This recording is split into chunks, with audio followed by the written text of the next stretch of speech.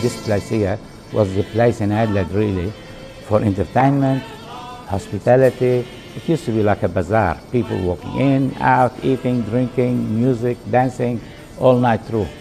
So this to me was just heaven. When the moon hits your eye like a big pizza pie, that's The anniversary is really a double anniversary. The year, the year is 50th year since the inception of Marcellina, the front room, when it used to be just the Marcellina Pizzeria, pizza bar. But March is my being here in 1973 in March.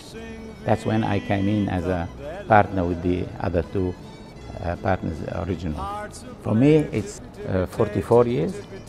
And for the Marcellina front room, the, the pizzeria when it used to be without Bibi's room, that was 50 years.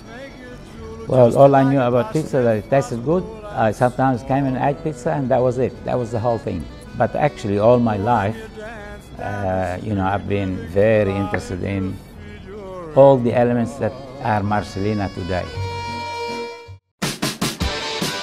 I mean, we're talking about the early 70s, mid 70s.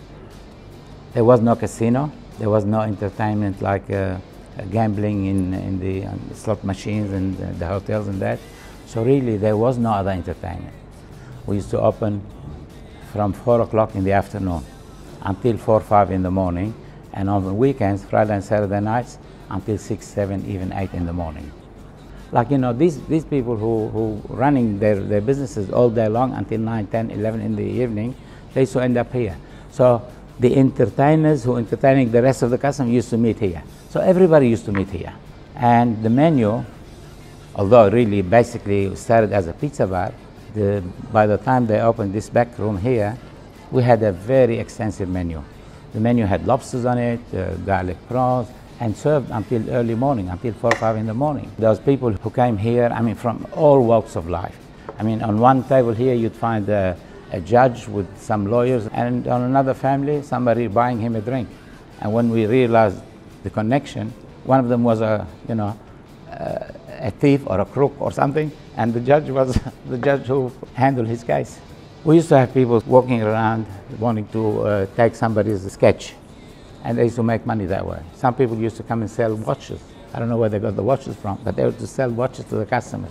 And we used to try to control it, but you know, it's, it's very hard because it used to be free for all kind of thing in the early days. I remember, I remember at one stage, one of the groups who used to come here, they sit in the back there corner, and they used to come about 15, 20, or 10, 20, 15. And the waiter one day told me, these people there, there's something funny going on. I said, what? He said to me, every time after dinner, in the bread basket, he wants to take the bread basket when, it's finished, when they finish dinner. I said, no, no, leave the bread basket here. He left it, and then he wanted to know why. Just before they leave, about uh, half an hour before they leave, they go to dance like usual, you know, all night dancing. And then they, each one of the men put their keys in the, in the, uh, in the bread basket. Assumably uh, the car keys. And he said to me, and then the women, the, the men go outside without uh, their keys. And then the women pick up a set of keys and take it to, and go. He said to me, but they come all the time. So I'm not saying anything. here, this place here, if these walls could speak, it will tell you all the stories of Adelaide, you can say. I mean, you put something in the paper, uh, tell us something that happened to you in Marcellina, and you get all sorts. They, they met their wife here, they met their ex-wife, they, they, they met their second husband, they met God knows what. Everybody met somebody here and changed their life. And not just me or, or our staff, customers. Until about 1984, 85, two, three things happened. Uh, one of them is the uh, fringe benefit stop. The other one was uh, the opening of the casino and gambling in the hotels. All these things affected us in a very bad way. Obviously, we used to be the, the only entertainment place that is really busy day after day, and especially on weekends. So when those things happened, we were doing maybe a lot less. We probably, really, anybody else would have probably closed. So we had to innovate. We don't have the customers here, so we had to do deliveries. So that was our savior in one big sense.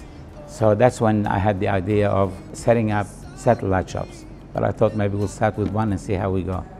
We started with one in 1994, and uh, the rest is history. Now we have 12, 13 of them. We opened the first shop in Dernancourt. Two or three of the people who used to be managing here took up and managed there. And then we started only franchising to the people who were running them for us. That's why we took 15 years to do only 10 shops maybe, simply because we needed to train people, more people here. When they're ready, we'll give them a shop, we'll finance them, and so on. And that's why most of our franchisees are people who either worked for us or worked for another franchisee in the later years. Very slowly. Actually, I've always believed, I mean, I've, I've heard it from, you know, different sayings and all this. Anything, anything that goes up quickly goes down quickly. So I said to myself, always I've said, I'll go very slowly up. So when I go down, if I do, hopefully I won't. If I do go down, I'll go down very slowly. It was really exactly like a family business. Now my brothers have sold their shares after two, three years because each one wanted to do their own thing, which I encourage them to anyway because I mean this is the best thing.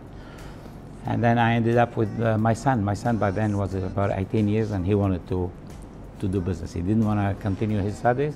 He said he wants to do business here with me. So we were me and my son.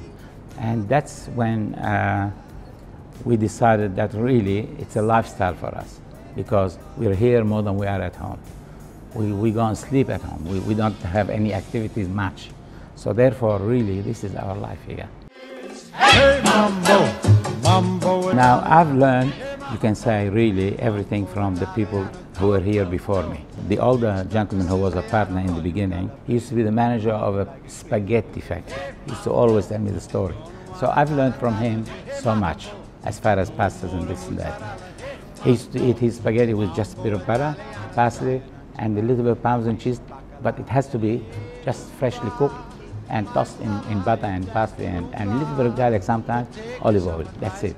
And when I saw him few, the first few times, I said, Mr. Parisi, why are you eating this? You can, you can have something in it. He said, Brian, this is my love. This is, I love it. So I started doing the same. And my favorite spaghetti now is the, the less sauce, the better. But it has to be freshly cooked and of course all the tasty stuff, you know, like the olive oil, the garlic, and parsley, really on spaghetti maybe is unbeatable. Uh, the other partner was more onto the pizza side and, and the cooking in the kitchen and that. But we had chefs here. All the years we had chefs, we had so many different chefs. Everybody I learned something from. You know, I've learned from everyone. Over 50 years, 45 years myself, you would learn so much.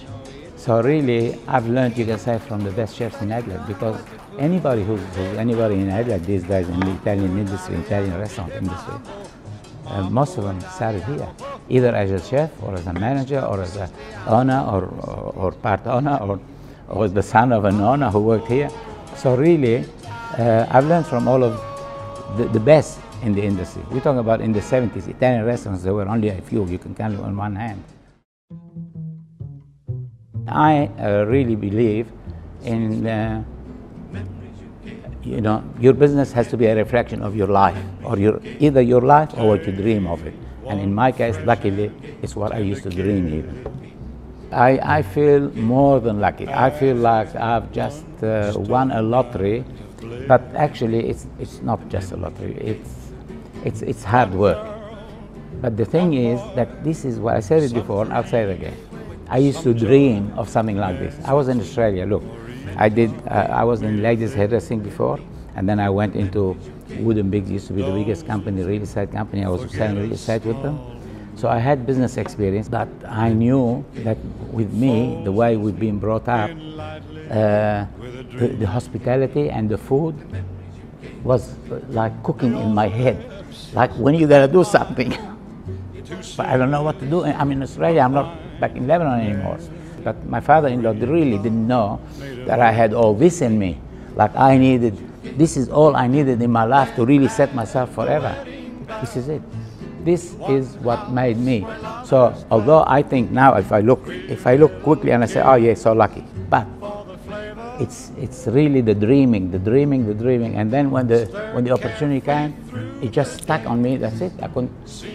Well, I hope that uh, people remember us in a, uh, in a good light. Uh, I remember all those days in the best way possible. Uh, I wish it comes back.